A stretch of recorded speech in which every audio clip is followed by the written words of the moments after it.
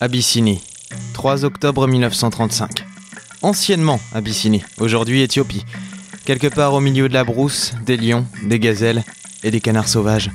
Ah, je vous l'avais dit, les marques allemandes ça marche jamais. J'ai donné un violent coup de pied contre le radiateur qui fumait encore. Deux heures. Deux heures que nous étions bloqués en plein milieu de nulle part, le soleil frappant comme un marteau et nos têtes ressemblant à s'y méprendre à trois grosses enclumes. La quête des yeux de l'ange bleu était bel et bien repartie. Ah, ça y est, vous commencez enfin à vous plaindre, ça faisait longtemps. J'en serais presque heureuse, dites donc. Cessez de critiquer les Allemands, monsieur Buxley. Les voitures allemandes sont très bien. Celle-ci a eu un coup de chaud, c'est tout. Le professeur s'est dirigé d'un pas lourd vers le coffre de la voiture pour y prendre un sac à dos. Laura restait confortablement installée à la place du passager, en maillot de corps, un fin tissu attaché sur ses cheveux. Pas étonnant en pleine cambrousse, un peu d'eau, Buxley Oui, merci, mais, mais qu'est-ce que vous faites Quoi Professeur Mais quoi, qu'est-ce que j'ai Eh, fait Professeur, votre fille est une vraie gourde Non, mais, mais je vous permets pas Que se passe-t-il, les enfants Espèce de crétin Ouais, cool, on recommence à s'insulter. Qu'est-ce qu'il y a, monsieur C'est la petite, là. Petite Elle utilise l'eau pour se laver les bras. Ah, J'ai les bras en sueur, regardez. En plus, avec la poussière, là, ça fait des taches. C'est vous la tâche, Laura. Oh, si elle utilise un tout petit peu d'eau, ça n'est pas bien grave. Mais je rêve. Professeur, je vous signale que nous risquons d'être à court en eau si madame s'amuse à faire ses toilettes plus d'une fois par jour. Évidemment, vous l'avez, vous, ça vous révulse, cette espèce de néandertalien. La civilisation, vous connaissez Ouais, si vous faites ça pour plaire aux gnous, je comprends, remarquez. Bon, euh, on se calme, on se calme. Nous sommes tous un peu tendus. Oui, tendus comme la corde d'un arc sur lequel on aurait posé une flèche. Oh, c'est beau ce que vous venez de dire. Merci. J'ai eu le premier prix de poésie en huitième. Ça remonte à longtemps, mais j'ai encore le fluide. Bon, nous sommes effectivement en panne et je ne vois aucun moyen de réparer notre voiture. Moi non plus, on aurait dû prendre des chevaux, professeur. Ah ouais Et avoir mal aux fesses tous les soirs Mais ça vous aurait pas changé de vos journées ordinaires de jeune femme libérée, Laura Comment je dois prendre ça Par derrière. Ah, la frustration du petit puceau. Petit quoi Puceau. Oui, peut-être. Pour les chevaux, je veux dire. euh, votre vie sexuelle ne m'intéresse pas outre mesure, monsieur Muxley. Vous avez tort. Non, il tient à préserver sa santé mentale. Alors, qu'est-ce qu'on fait Vous m'avez toujours pas passé l'eau, vous, j'ai soif. Oh, excusez-moi, je prenais une douche.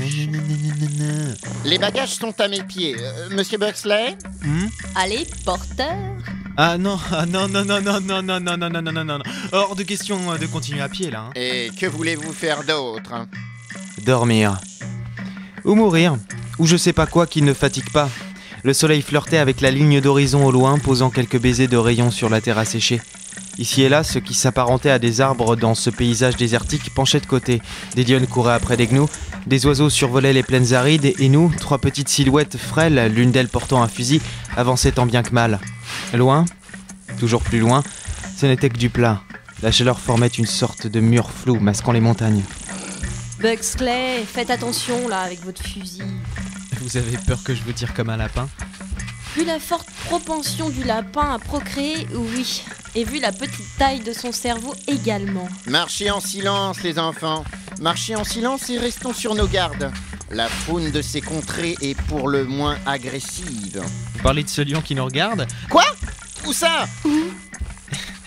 Non, je déconne, c'était juste pour... Buxley Monsieur Buxley Je ne l'avais pas vu venir. Une superbe lionne d'au moins... Oh là là, beaucoup de livres, hein, vu la douleur que j'ai ressentie sur le côté droit lorsqu'elle m'a percuté, la gueule grande ouverte. Le coup est parti tout seul, en l'air. Évidemment, ce genre de coup est beaucoup plus efficace quand le prédateur vous tombe du ciel. La lionne grognait, babine retroussée, ses crocs légèrement plantés dans mon épaule. Elle cherchait à atteindre ma carotide. Et la seule chose que je pensais à ce moment, c'était que j'avais perdu mon feutre en tombant. Mon Dieu Elle va le manger Cette magnifique lionne Regardez Laura comme elle est finement musclée Cette magnifique lionne va manger Monsieur Buxley Mais, mais faites quelque chose Buxley, défendez-vous J'avais toujours le fusil dans ma main gauche. Je lui ai asséné un coup de crosse. À, à la lionne, pas au fusil, sinon ça aurait été profondément ridicule. Elle a sauté de côté en grognant, prête à fondre à nouveau sur sa proie. Alors là, j'ai tiré en l'air. Et elle a décampé. Pourquoi vous l'avez pas tué Une si jolie bête. Ouais, c'est surtout parce que c'est la première fois qu'un être vivant de sexe féminin se jette comme cela sur vous. Vous allez bien, monsieur Buxley? Euh, Vous saignez de l'épaule. Ça va, ça va, j'ai la tête qui tourne un peu et l'impression que la terre tremble, mais ça va. Oh oh oh, je crois que ce n'est pas une impression, monsieur Buxley. De quoi? Bugs, la Terre